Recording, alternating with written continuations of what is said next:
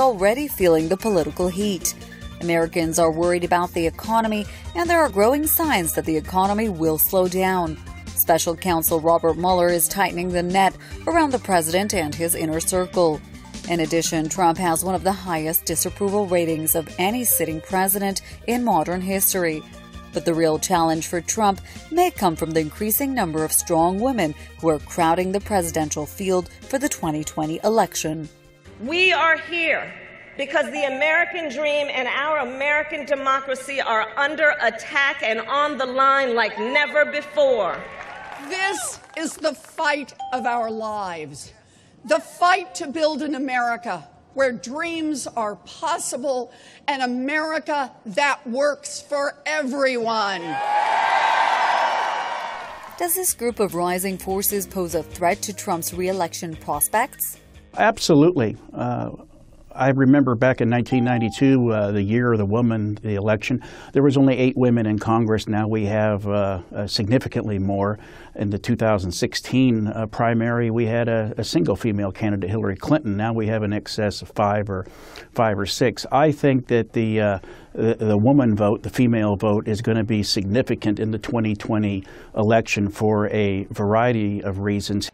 Polls show that President Trump is underwater with female voters, especially among white suburban women, a group that is expected to vote in record numbers in 2020.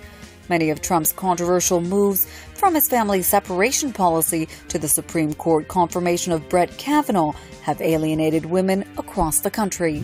Historically, the Republican uh, Party has suffered from what has been described as a gender gap. Uh, Donald Trump has created a gender Grand Canyon in terms. There's a huge gap uh, between uh, the uh, the female vote, the woman vote, and the Republican Party that is probably unbridgeable. So the uh, the woman vote in 2020 is going to be significant and is probably going to be uh, just a bridge too far uh, for uh, Donald Trump, both in terms of uh, his own party. I think he's going to have problems within his own party, definitely among the Democrats, but also, most importantly, among independent.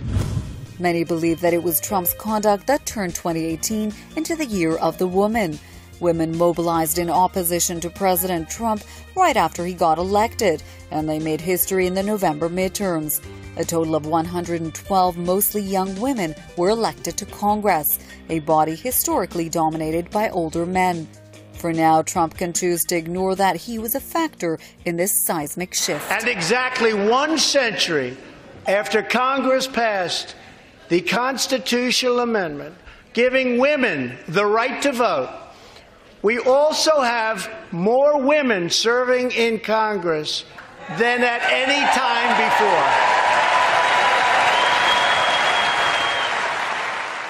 Women also hit a series of significant milestones last year.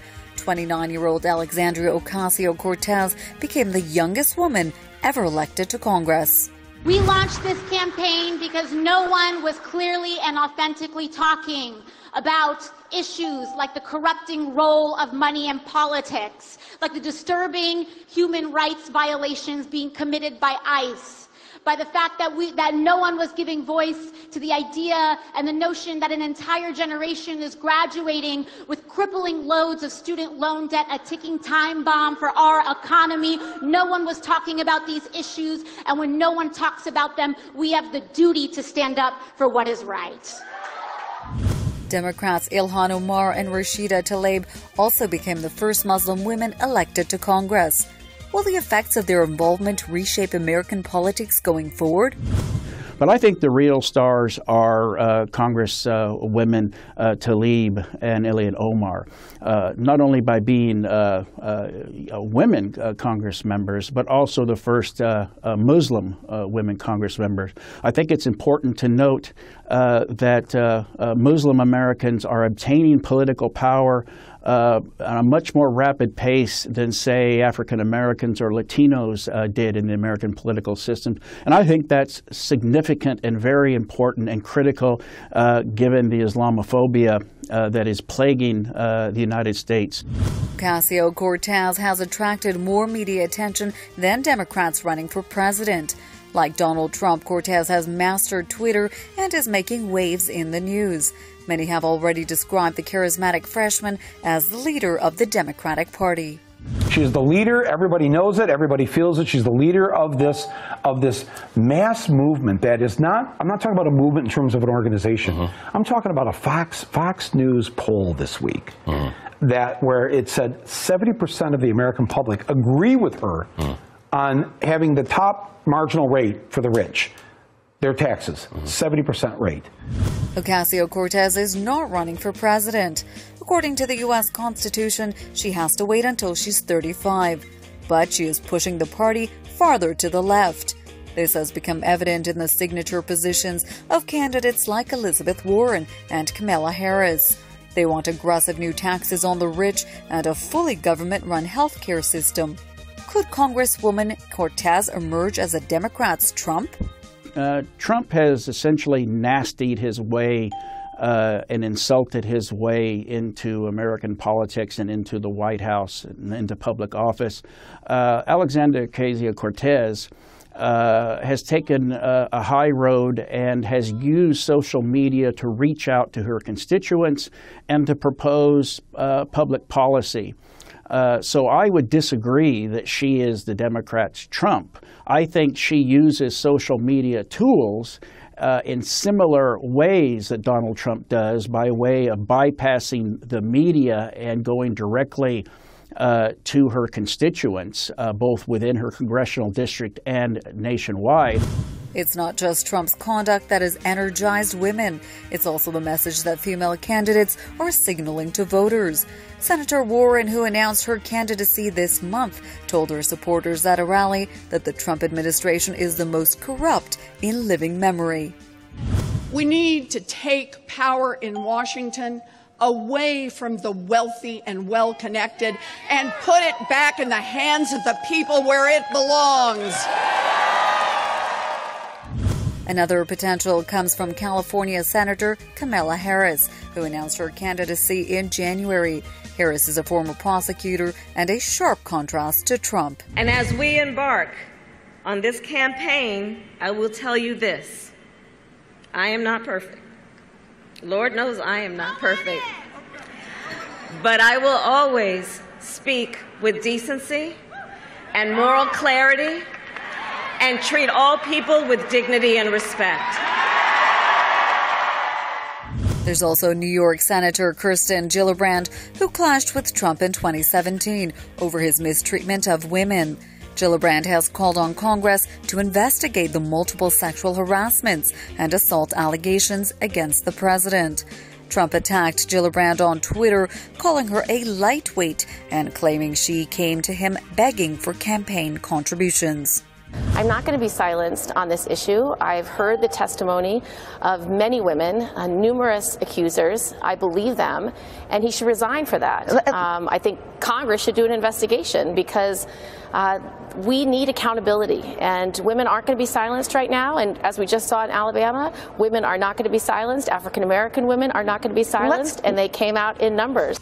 Can these female candidates take on Trump and potentially beat him? Well, I think that's uh, uh, that's going to be the challenge. I think it's not going to be enough just to be anti-Trump. And I think Senator Warren's uh, analogy of the Trump administration is correct. Everyone need only look at the turnover in his administration, the number of indictments and guilty pleas, and not only that, the uh, backgrounds of the people that Trump has brought in. Remember, Trump said he was going to bring in uh, the best people. Well, that hasn't been the case. But it's important that Democrats understand that it's not enough to just be anti Trump. I think people are going to have Trump fatigue, but at the same time, they're going to want to look at real policies and look at real change.